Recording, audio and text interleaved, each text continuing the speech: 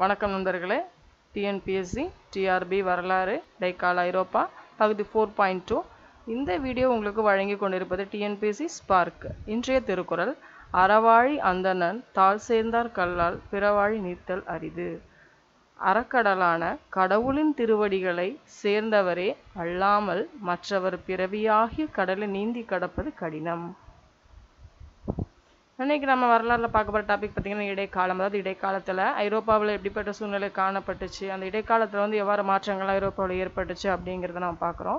இந்த இடைக்கால ஐரோப்பாவுடைய காலகட்டம் அப்படின்னு பார்த்தோம்னா கிபி ஆறுநூறு முதல் கிபி ஆயிரத்தி ஐநூறு வரையிலான காலத்தை நம்ம இடைக்காலம் அப்படின்னு சொல்கிறோம் இதை நம்ம ரெண்டு வகையாக பிரிக்கலாம். எப்படின்னு பார்த்தீங்கன்னா அதாவது கிபி ஆயிரம் வரையிலான காலம் இருக்குல்ல வந்து முற்பட்ட அப்படின்னு சொல்லலாம். அதே போல் ஆயிரம் முதல் ஆயிரத்தி ஐநூறு இருக்கு இல்லையா? அதை பிற்பட்ட இடைக்காலம் அப்படின்னு சொல்லிட்டு நம்ம இரண்டாக இதை பிரித்து அறிகிறோம் செய்தியை. இந்த இடைக்கால ஐரோப்பா பார்த்தீங்கன்னா அரசியல் ரீதியாக நம்ம பார்க்குறப்போ ரோமானிய பேரரசு அப்படின்னு சொல்லக்கூடிய பைசாண்டிய பேரரசு கான்ஸ்டன்டினோவில் தலை தலைநகரமாக கொண்டு உருவாக்கப்பட்டது.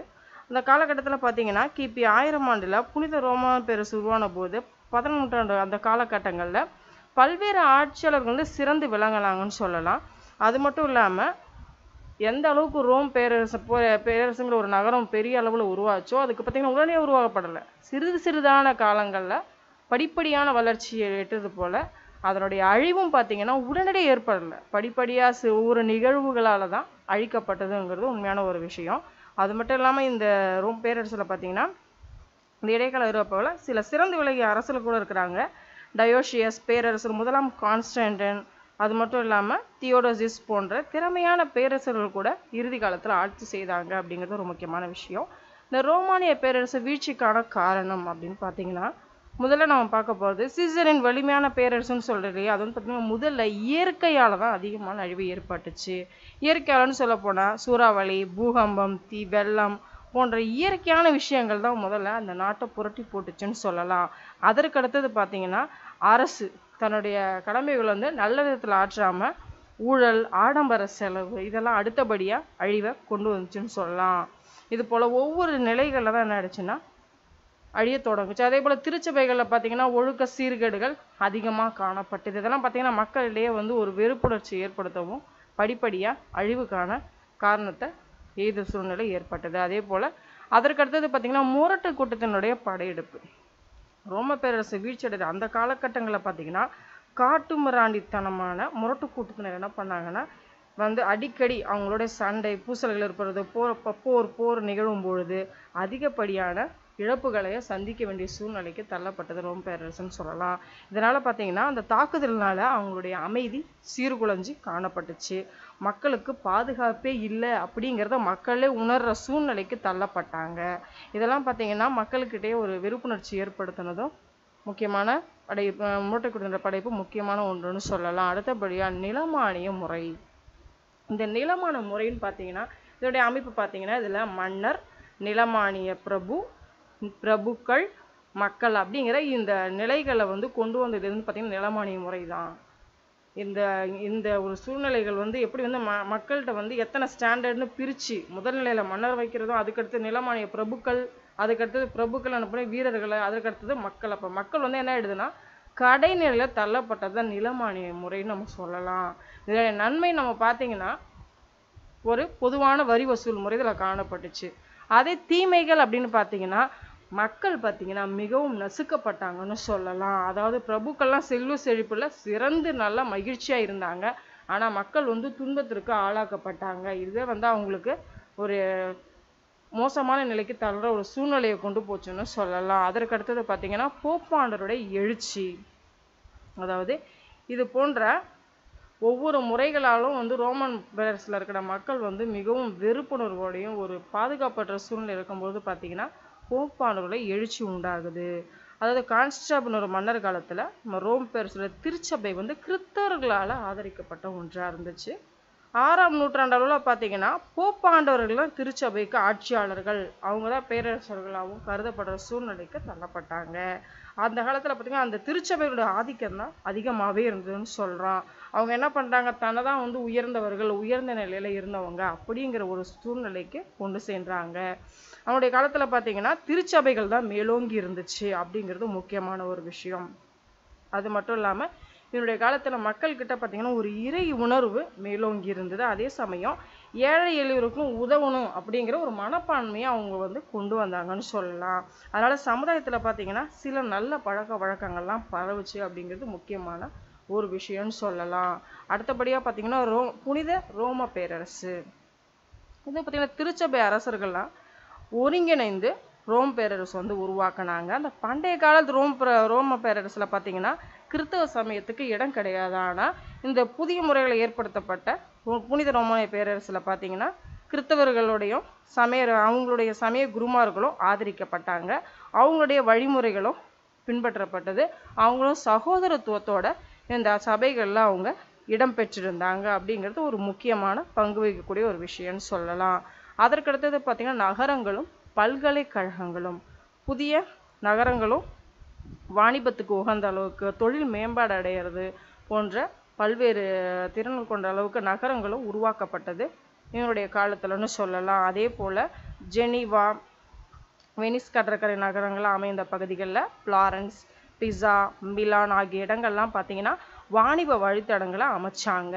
ஆலந்து ஜெர்மனி பிரான்ஸ் இங்கிலாந்து போன்ற நாடுகள்லாம் பார்த்தீங்கன்னா பல துறைமுகங்களாகவும் வர்த்தக நகர மையமாகவும் சிறந்து விளங்கவும் செய்தது இந்த காலம்னு சொல்லலாம். அடுத்தது கல்வின்னு பார்த்தோம்னா அதாவது முக்கியமாக சொல்லப்போனால் பல பல்கலைக்கழகங்கள் ஏற்படுத்தப்பட்டதுன்னு சொல்லலாம். சில மட மடாலயங்கள்லாம் கல்வி கற்கிற நிலையமாகவும் மாற்றப்பட்டது. இந்த காலகட்டங்கள்னு சொல்ல இந்த காலகட்டத்தில் போலோசோ பல்கலைக்கழகங்கள் உருவாக்கப்பட்டது அப்படின்னு சொல்லலாம். அதற்கு அடுத்தபடி நம்ம பார்த்தீங்கன்னா இஸ்லாமியர்களோட எழுச்சி அதாவது தென்மேற்கு ஆசியாவில் அமைஞ்சிருக்க பாலைவன பகுதியில் தான் அந்த அரேபியா பகுதி இருக்கு இல்லையா? அங்கே தான் இஸ்லாமிய சமய பிறப்பிடமாக காணப்பட்டது. முகமது நபி அவர்கள் தான் வந்து இஸ்லாமியத்தை உருவாக்கி அதை பாரசீக மக்கள்கிட்ட இருந்து பரவி அதன் மூலமாக மற்ற நாடுகளுக்கும் பரவுச்சுன்னு சொல்லலாம். மிக உயர்ந்த ஒழுக்க கோட்பாடுகளை கொண்டதும் காணப்பட்டது இந்த முஸ்லீம் அமைப்புன்னு சொல்லலாம். இந்த இஸ்லாமிய அமைப்பில் பார்த்தீங்கன்னா மெக்கா மெதினா அப்படிங்கிற இந்த இரண்டு புனித யாத்திரை மையங்களும் காணப்பட்டுச்சு. இவங்களுடைய இலக்கியம் அறிவியல் மருத்துவம் போன்றதெல்லாம் பார்த்தீங்கன்னா அதிகம் முக்கியத்துவம் கொடுத்த விஷயமாக இவங்க காலத்தில் கருதப்பட்டதுன்னு சொல்லலாம். அடுத்த சிறப்புன்னு பார்த்தீங்கன்னா சிலுவை போர்கள். ஆயிரத்தி தொண்ணூத்தைந்து ஆயிரத்தி நானூற்றி நாற்பத்தி நாலு போன காலகட்டங்களில் பார்த்தீங்கன்னா பல்வேறு சிலுவை போர்கள் வந்து காணப்பட்டது. இது என்ன அப்படின்னு பார்த்தீங்கன்னா ஐரோப்பிய கிறிஸ்தவர்களும் துருக்கி இஸ்லாமியருக்கும் இடையே ஏற்பட்ட மோதல் தான் இது முக்கியமான காரணம். இதன் காரணமாக பார்த்தீங்கன்னா ஜெருசலேம் அப்படிங்கிற அந்த புனித இடத்தை மீட்கணும் அப்படிங்கிறது இதனுடைய முக்கியமான நோக்கம். இது பார்த்தீங்கன்னா ஒவ்வொரு காலங்கட்டங்களும் நடந்ததுன்னு சொல்லலாம். முதல் சிலுவை போர்னு பார்த்தீங்கன்னா ஆயிரத்தி தொண்ணூத்தாறு முதல் ஆயிரத்தி தொண்ணூற்றி ஒன்பது வரை காலகட்டங்கள் இந்த காலகட்டங்களில் நடந்தது. அப்போ பார்த்தீங்கன்னா ஜெர்மனுடைய அரசர் நான்காம் ஹென்ரியாக இருந்தார். இங்கிலாந்து அரசர் இரண்டாம் வில்லியம். பிரான்சில் முதலாம் பிலிமஸ் ஆகிய இந்த போரில் வந்து அவர் பங்கேற்கல இருந்தாலும் மக்கள்கிட்ட என்ன ஆயிடுச்சுன்னா கிளர்ச்சி அதிகப்படியாகவே வெடித்ததுன்னு நம்ம சொல்லலாம். அதே போல் இரண்டாம் சிலுவை போர்கள்னு பார்த்தீங்கன்னா ஆயிரத்தி நூற்றி நாற்பத்தேழு ஆயிரத்தி நூற்றி நாற்பத்தெட்டு போன்ற காலகட்டங்கள் நடைபெற்றதுன்னு சொல்லலாம். அதே போல் மூன்றாம் சிலுவை போர்கள் நான்காம் சிலுவை போர்கள் அப்படின்ற இந்த நான்கு வகையான சிலுவை போர்களும் நடைபெற்றது. அதுக்கடுத்தது பார்த்தீங்கன்னா குழந்தை சிலுவை போர் ஆயிரத்தி இரநூத்தி பன்னிரெண்டில். இது பார்த்தீங்கன்னா சிறுவர்கள் சிலுவை போர் அப்படின்னு சொல்லிட்டு நம்ம ஜெர்மனில் நிக்கோலஸ் பிரான்ஸ் ஸ்டீபன் தலைமையில் நடைபெற்றது. அவர் பார்த்தீங்கன்னா கடவுள் வந்து அவர்களை பாதுகாத்து வழி நடத்துகிறதா அவர் வந்து வீர முழக்கமிட்டு அதன் மூலமாக இதை மக்களை ஆயத்தப்படுத்தி இந்த போருக்கு தயார் செய்தது அப்படின்னு சொல்லலாம். ஆனால் இந்த போர்கள்லாம் பார்த்தீங்கன்னா தோல்வியை தழுவிச்சுன்னு சொல்லலாம். இந்த தோல்விக்கான காரணம்னு பார்த்தீங்கன்னா இவங்களுக்கு போதுமான அளவு மக்கள் அனைவர்கிட்டமே இதை போய் சென்று சேரலாம்னு சொல்லலாம். குறுகிய அளவு மக்கள் இதை அதில் பங்கேற்றாங்க. அது மட்டும் இல்லாமல் இதில் வந்து நிறைய மக்கள் வந்து ஆர்வமாக இல்லை. நிறைய இழப்பீடு ஏற்பட்டுச்சுன்றதுனால அவங்க என்ன பண்ணாங்கன்னா நிறைய பேர் இந்த இதில் கவனம் செலுத்த முடியலை. இவங்க திட்டமிட்டபடி இந்த திட்டத்தின்படி செயல்படுத்த முடியல. ஒற்றுமை இல்லை. அதே சமயம் ஒழுக்கமின்மையும் இதில் அதிகமாக காணப்பட்டதுனால இந்த போர் பார்த்தீங்கன்னா தோல்வி அடைஞ்சதுன்னு சொல்லலாம். அடுத்தது நம்ம பார்க்க போகிற டாபிக்னு பார்த்தீங்கன்னா நவீன கால துவக்கம். அது என்னங்க நவீன காலம்னு பார்க்குறீங்களா அதாவது பழைய காலம் அதாவது வேளாண்மை பயிர் தொழில் அப்படிங்கிறத நம்பி முடிச்சுட்டு அதெல்லாம் இல்லாமல் ஒரு புதிய கருவிகளை கண்டுபிடிச்சி ஒரு புதுமையான ஒரு விஷயத்தை நம்ம உருவாக்குறோம் இல்லையா? அதை தான் நம்ம நவீன கால துவக்கம்னு சொல்லும் அதாவது இந்த காலங்களில் பார்த்தீங்கன்னா கிபி நானூற்றி எழுபத்தாறாம் ஆண்டுகளில் மகத்தான ரோமானிய பேரரசு வீழ்ச்சி அடைஞ்சது இல்லையா அந்த காலகட்டங்களோட பழைய காலம் முடிவடைஞ்சதுன்னு சொல்லலாம். அதற்கப்புறம் நம்மளுக்கு அறிமுகமான அத்தனையுமே பார்த்தீங்கன்னா நவீன கால துவக்கம்னு நம்ம சொல்கிறோம் அதிலிருந்து. அதுக்கப்புறம் வந்து புதிய பல்வேறு நாடுகள் கண்டுபிடிக்கப்பட்டது புதிய அறிவியல் முறைகளை நம்ம ஏற்படுத்தின தாக்கம் இதெல்லாம் பார்த்திங்கன்னா நம்ம நவீன காலம் நம்ம சொல்கிறதுல மறுமலர்ச்சி அப்படிங்கிற ஒன்றை நம்ம பார்க்குறோம். மறுமலர்ச்சி அப்படின்னா புதுப்பிக்கிறது மீட்டு உருவாக்குறது மறுபிறப்பு அப்படிங்கிற பொருளை நம்ம எடுத்துக்கிறோம். இது வந்து ஒரு அறிவு காலம். அது மட்டும் இல்லாமல் தொன்மையான கிரேக்க ரோமானியெல்லாம் என்ன பண்ணுறோம் இதெல்லாம் வந்து இந்த உணர்வுகள் காலத்தை விட்டு அதிலிருந்து புதுமையான ஒரு சிந்தனையை கொண்டு வர்ற காலம் அப்படிங்கிறது முக்கியமான ஒரு விஷயம். இந்த காலம் வந்து நம்ம இத்தாலி தான் நம்ம பிறப்பிடம் அப்படின்னு சொல்கிறோம் இந்த மறுமலர்ச்சியுடைய தாக்கம் முத முதல்ல உருவாக்கப்பட்டதுன்னு பார்த்தீங்கன்னா இத்தாலியில் தான் நம்ம சொல்லலாம். ஏன் இந்த அளவுக்கு சொல்கிறோம் அப்படின்னா இத்தாலியில் பார்த்தீங்கன்னா இந்த கல்வி கூடங்களில் பார்த்தீங்கன்னா பல்வேறு முறை பல்வேறு சிந்திக்கிற அந்த சிந்தனையாளர்களுடைய தாக்கம் தான் இதெல்லாம் நம்ம ஏற்படுத்துச்சு. அதனால தான் நம்ம இத்தாலியை வந்து மறுமலர்ச்சியின் பிறப்பிடம் நம்ம சொல்கிறோம் இதில் பார்த்தீங்கன்னா ஆதி காலத்துலேருந்து நிலமானிய முறை இருக்குது அது வந்து மக்கள் வந்து வெறுக்க ஆரம்பிச்சிட்டாங்க. அவங்களுக்கு நம்பிக்கை இல்லாமல் போயிடுச்சு. அவங்களுக்குள்ள இருந்த அந்த கல்வி அறிவானது அவங்கள சிந்திக்க வச்சுது. அப்போ இந்த நிலமானிய முறை வந்து நம்மளை அடிமைப்படுத்துது. நம்ம எப்படி எல்லாரும் ஒன்று தானே மனுஷங்கன்னா அப்படிங்கிற அந்த சிந்தனை அவங்களுக்குள்ளே கொண்டு வந்தது. அப்போ என்னாச்சு? அவங்க இதெல்லாம் தேவையில்லை இப்படிப்பட்ட முறைகள்லாம் களை எடுத்துடணும் அப்படின்னு சொல்லிட்டு ஒரு புதுவிதமான சிந்தனையை கொண்டு வந்து ஒரு மறுமலர்ச்சி காலத்தை உருவாக்குறாங்க. அது மட்டும் இல்லாமல் உங்கள் காலத்தில் பார்த்தீங்கன்னா வெடி மருந்துகள் வந்து கண்டுபிடிச்சது மிகப்பெரிய மகத்தான விஷயம்னு சொல்லலாம். அதே போல் வட்டார மொழிக்கு அவங்க முக்கியத்துவம் கொடுத்தாங்க. அதே மாதிரி தா தாந்தியோடைய தெய்வீக இன்பவியல் அப்படிங்கிற அந்த மறுமலர்ச்சி இயக்கத்தை உருவாக்குறதுக்கு முக்கிய காரணமாகவும் காணப்பட்டுச்சுன்னு சொல்லலாம். அது மட்டும் இல்லாமல் இலக்கிய மறுமலர்ச்சி முன்னோடியாக பெட்ராக் அவர்களும் இவருடைய பிளாட்டோ ஜிசரோ போன்ற பலருடைய தாக்கம் தப்பாருடைய கருத்துக்களுடைய தாக்கம் மக்கள் மனசில் வந்து சிந்தனையை வெளிக்கொண்டு வந்துச்சுன்னு நம்ம சொல்லலாம். அதே போல் ஆயிரத்தி நானூற்றி ஐம்பத்தி மூணாம் ஆண்டுகளில் கான்ஸ்டாண்டினபிள் துருக்கியை கைப்பற்றினாங்க. அது ஒரு முக்கியமான ஒரு நிகழ்வுன்னு சொல்லலாம். இது பார்த்தீங்கன்னா பல்வேறு கலாச்சாரங்களுடைய பரிமாற்றமாகவும் காணப்பட்டது. இவங்களுடைய கலாச்சாரம் அந்த நாடுகளுக்கு நுழையும் போது அவங்களுடைய அறிவியல் கண்டுபிடிப்புகள் என்ன ஆகுது? மற்ற நாடுகளில் வந்து பரவல் ஏற்படுது. இது வந்து முக்கியமான ஒரு தாக்கத்தை ஏற்படுத்துச்சுன்னு சொல்லலாம். அதே போல் லியோனோ டாவிசி அப்படிங்கிற ஒரு பல்துறை மேதை பார்த்தீங்கன்னா சிறந்த எழுத்தாளராகவும் இருந்தார் விஞ்ஞானியாகவும் இருந்தார் படைப்பாளியாகவும் இருந்தார் பொறியாளராகவும் இருந்தார் கட்டிடக்கலை நிபுணராகவும் இருந்தார் சிறந்த ஓவியத்தில் தேர்ச்சி பெற்றவங்க இருந்து மிகப்பெரிய சாதனை கொண்ட ஒருத்தர் நம்ம சொல்லலாம். இது போன்ற பல்வேறு அறிஞருடைய தாக்கம்லாம் இந்த காலத்துல இருந்து நவீன காலத்தில் தான் நமக்கு ஏற்பட்டுச்சுன்னு சொல்லலாம். அடுத்தது பார்த்திங்கன்னா சிற்பக்கலை முக்கியமான ஒன்றுன்னு சொல்லலாம். சிற்பக்கலையில் பார்த்தீங்கன்னா மைக்கேல் ஏஞ்சலோவுடைய மோசஸ் அப்படிங்கிற அந்த மிகச்சிறந்த சிற்ப சிற்பக்கலைக்கு எடுத்துக்காட்டாக திகழக்கூடிய ஒன்றுன்னு சொல்லலாம். அதில் பார்த்தீங்கன்னா புனித பீட்டர் தேவாலயம்ங்கிறது மிக முக்கியத்துவம் வாய்ந்த ஒன்றாகவும் கருதப்படக்கூடிய ஒன்று. அதற்கடுத்தது பார்த்திங்கன்னா இசை. பதினொன்று நூற்றாண்டு பார்த்திங்கன்னா மிகப்பெரிய தாக்கம் வந்து இசையில் ஏற்பட்டுச்சுன்னு சொல்லலாம். ஏன்னா இசை கருவிகளுடைய அந்த செயல்பாடுகளும் முக்கியத்துவம் வாய்ந்ததுன்னு நம்ம சொல்லலாம். இதில் பார்த்திங்கன்னா பல்வேறு வகையான கருவிகள் உருவாக்கம் மாற்றங்களை ஏற்பட்டுச்சு இசைத்துறையில் அப்படின்னு சொல்லலாம். அடுத்தபடியாக பார்த்தீங்கன்னா மனிதத்துவத்தினுடைய எழுச்சி. மனுஷன் எப் மனுஷன் மனிதனுக்கு உணர்வுகள் இருக்கிறது. மனிதன் வந்து இப்படி தான் வாழணும். மனிதன் வந்து அடிமையாக வாழக்கூடியவன் கிடையாது. மனிதன் சிந்திச்சு எல்லோரும் சமமாக வாழக்கூடியவங்க. திருச்சபையினுடைய ஆதிக்கத்தில் வாழ வேண்டிய அவசியம் இல்லை அப்படிங்கிற ஒரு புதுமையான சிந்தனையை கொடுத்த தத்துவத்தினுடைய எழுச்சி காலமும் இதுதான் நம்ம சொல்லலாம். மனிதத்துவம் அப்படிங்கிறத பெட்ராக் அவர்கள் சொன்னதும் நம்மளுடைய மெடிசி போன்ற அறிஞர்களுடைய எழுத்தாளருடைய அந்த ஆதி அவருடைய அந்த எழுத்து உரைகளும் பார்த்திங்கன்னா மக்கள் மனதுல ஆழமான ஒரு உணர்வுகளை சிந்திக்க வச்சதுன்னு சொல்லலாம். அதற்கடுத்தது பார்த்திங்கன்னா விஞ்ஞானத்துறை. விஞ்ஞானத்துறைன்னு பார்த்திங்கன்னா திசை காட்டும் கருவி வந்து கண்டுபிடிக்கப்பட்டது. நவீன ஒரு கண்டுபிடிப்புன்னு நம்ம சொல்லலாம். அதே போல ஃபயர் ரோஸ்டெக் நவீன அறிவியலின் தந்தை அப்படின்னு சொல்லிட்டு கருதப்படுறாரு. இவர் பார்த்தீங்கன்னா இவருடைய காலகட்டங்கள்ல பல்வேறு சாதனைன்னு சொல்லலாம். அதாவது சூரியன் தான் உலக சுற்றி வருது அப்படின்னு சொல்லிட்டு ஒரு விஷயத்த இவர் வந்து வெறுத்தாரு. இல்லை அப்படின்னு சொல்லி தொலைநோக்கியை வச்சு கலிலியோ கவிலியாளர்கள் என்ன பண்ணாங்கன்னா உண்மையிலே எது அப்படிங்கிற அந்த உண்மையை அவர் நிரூபிச்சார். சூரியன் தான் வந்து சுத்தலை சூரியன் உடத்தில் இருக்கிறது பூமி தான் சூழ்கிறது அப்படிங்கிற ஒரு உண்மையை அவர் வெளிப்படுத்தினது மிகப்பெரிய சாதனைன்னு சொல்லலாம் அந்த காலத்தில். புவியீர்ப்பு விசை அதை பற்றி வந்து கெப்லர் அவர்கள் கூறிய விஷயம்லாம் இந்த காலத்தில் பார்த்திங்கன்னா முக்கிய அடித்தளம்னு சொல்லலாம். அதே போல் வாஸ்கோடா ஆகாமா அவர்கள் வந்து புதிய கடல் வழி மார்க்கத்தை கண்டுபிடித்தது. இதெல்லாம் பார்த்தீங்கன்னா விஞ்ஞானத்துறையில் மிகப்பெரிய மாற்றத்தை உண்டாக்குச்சு அப்படிங்கிறது மிகப்பெரிய ஒரு விஷயம்னு சொல்லலாம். மறுமலர்ச்சியின் விளைவாக என்ன ஆச்சு அப்படின்னு பார்த்தீங்கன்னா ஒரு நாடு நாடு வந்து முன்னேற்ற பாதையில் சொல்றதுக்கு மிகப்பெரிய உந்துதலாக இருந்துச்சு. மக்கள் வந்து புதுமையான சிந்தனைகளை கொண்டு வந்து தன்னுடைய வாடிக்கை தரத்தை முன்னேற்றத்திற்கு மிகப்பெரிய அடித்தளமாக அமைஞ்சதுன்னு சொல்லலாம். இதனால் பார்த்தீங்கன்னா இந்த பகுத்தறிவு விஷயம் பார்த்தீங்கன்னா பல்வேறு நாடுகளுக்கும் தன்னுடைய இத்தாலி இத்தாலியிலேருந்து பார்த்தீங்கன்னா மற்ற நாடுகளுக்கும் பரப்பலாச்சு. இதனால் பார்த்தீங்கன்னா ஒவ்வொரு நாடுகள்லையும் பல்வேறு விதமான தாக்கத்தை ஏற்படுத்துச்சுன்னு சொல்லலாம். அடுத்தபடியாக பார்த்தோம்னா சமய சீர்திருத்த இயக்கங்கள். இந்த காலத்தில் தோன்றிய சமய சீர்திருத்த இயக்கங்கள்னு பார்த்தீங்கன்னா அதாவது போப்பவர்களுடைய கட்டுப்பாட்டில் வரும்போது திருச்சபைகள் தான் முக்கியத்துவம்னு சொல்லிட்டாங்க. திருச்சபைகள் அவங்க என்ன சொல்கிறாங்களோ அதுதான் உண்மை அதுதான் நடக்கும் அதுதான் ஆதிக்கம். அவங்க தான் அதிகப்படியான அதிகம் செலுத்தினாங்க. ஆனால் இந்த நவீன காலத்தில் அதற்கு வேலையே கிடையாது. மக்களே சிந்திக்க ஆரம்பித்தாங்க அவங்கள என்ன பண்ணாங்க? இதுதான் உண்மை இதுதான் பொய் அப்படிங்கிற அந்த உண்மை பொய்க்கிடையே இருக்கிற அந்த வேறுபாடுகளை வந்து மக்களே தன்னுடைய பகுத்தறிவு சிந்தனையினால் கண்டுபிடிச்சது இந்த சமய திருத்தியத்துல முக்கியமான ஒரு விஷயம்னு சொல்லலாம். அடுத்தபடியாக நம்ம பார்த்தோம்னா எதிர் சமய சிறுத்தை இயக்கங்கள். அதாவது கத்தோலிக்க திருச்சபை இருக்கு இல்லையா? அதற்கு எதிர்ப்பா. அவங்களுடைய கருத்துக்களை இவங்க மறுக்கிறவங்க. அதை நாங்கள் ஏற்க மாட்டோம். அதற்கு மறுப்பு இயக்கம் தெரிவித்து உருவானது எதிர் சமய சிறுத்தை இயக்கங்கள்.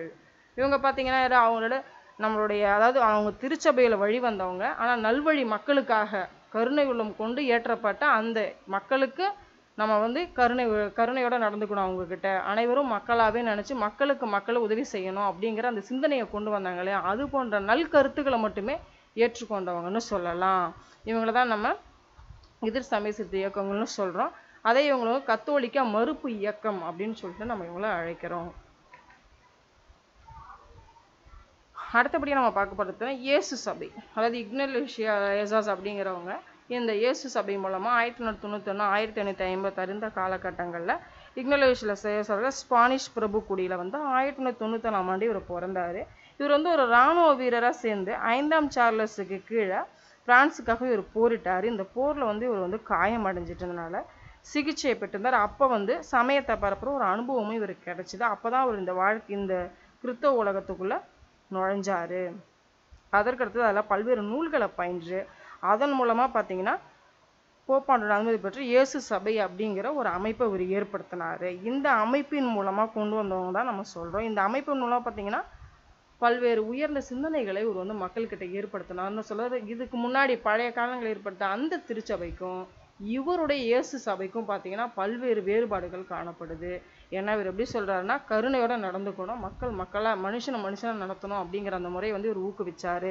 அதனால் இவருடைய சங்கத்தினுடைய பரவல் பார்த்தீங்கன்னா மிக வேகமாக இருந்துச்சு. மிகப்பெரிய புரட்சியாகவும் அந்த காலத்தில் அது கருதப்பட்டதுன்னு சொல்லலாம். அதற்கடுத்தது பார்த்தீங்கன்னா ட்ரெண்ட் கவுன்சில்.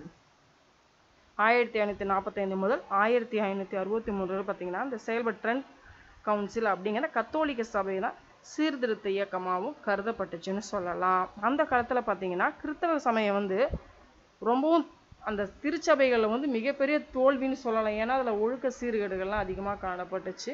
அது மட்டும் இல்லாமல் அவங்க தான் அதிக ஆதிக்கம் செலுத்துறதுனால அவங்களுக்குள்ள நிறைய பிரிவினைகள்லாம் உண்டாயிடுச்சு. அப்போ இப்படி பிரிஞ்சு எல்லாம் போயிட்டா கலைஞ்சிடும் அப்படிங்கிற இடத்துல எல்லாத்தையும் ஒன்று சேர்க்கணும். எல்லா அமைப்பும் ஒன்று சேர்த்து ஒரு புதிய சட்டத்தை உருவாக்கணும் அப்படிங்கிறதுக்கு உருவாக்கப்பட்டது தான் ட்ரெண்ட் கவுன்சிலுங்கிறதுனால நினச்சுன்னா மதத்தில் இருக்க சீர்கேடுகள்லாம் ஒழிக்கப்பட்டது. மதம் வந்து எப்படின்னா மக்களுடைய மனசில் ஒரு புதிய தாக்கத்தை ஏற்படுத்தக்கூடிய அமைப்புகளை இதில் உருவாக்குனாங்கன்னு சொல்லலாம். அதற்கு அடுத்தது பார்த்தீங்கன்னா இன்குசிஸ் அது விசாரணை நீதிமன்றம் அப்படின்னு சொல்லக்கூடிய அந்த கத்தோலிக்க நம்பிக்கை வந்து குறை கூறினவங்க யாரோ அவங்கள வந்து விசாரணை மூலமாக தண்டிக்கப்படுற ஒரு அமைப்புன்னு சொல்லலாம் இது. இதை பார்த்தீங்கன்னா மன்னர் ஃபெர்டினாண்டும் ராணி இசபெல்லா காலத்தில் வந்து இது நிறுவப்பட்டது. இதில் பார்த்தீங்கன்னா குற்றம் சாட்டுறவங்க யார் அப்படின்னா அவங்க வந்து எந்த ஒரு விசாரணையும் இல்லாமல் தண்டிக்கப்பட்டு சித்திரவதை செய்யப்பட்டு கொல்லப்பட்டாங்க. அதான் இது. இந்த விசாரணை நீதிமன்றங்கிறது. அடுத்தபடியாக பார்த்தீங்கன்னா அட்டவணை. இந்த அட்டவணைங்கிறது என்ன? இண்டெக்ஸ் அப்படின்னு சொல்லக்கூடிய இந்த அட்டவணை என்னன்னா கத்தோலிக்க மதத்திற்கு எதிரான கருத்துக்களை கொண்ட புத்தகத்தோட பட்டியலை தயாரிச்சு அந்த கத்தோலிகள் பற்றியில் வந்து யார் யாரெல்லாம் தடை செஞ்சாங்களோ அவங்கள நம்ம இண்டெக்ஸ் அப்படின்னு சொல்லிட்டு அழைக்கிறோம். அவங்க ஏற்படுத்துகிற பட்சத்தில் யாரெல்லாம் எதாவது தடை செய்யப்பட்ட இயக்கம் அப்படின்னு சொல்கிறாங்களோ அதை நம்ம இண்டெக்ஸ்னு சொல்கிறோம் அதை நம்ம அட்டவணைன்னு சொல்கிறோம் அடுத்தது பார்த்திங்கன்னா புவியியல் கண்டுபிடிப்புகள்.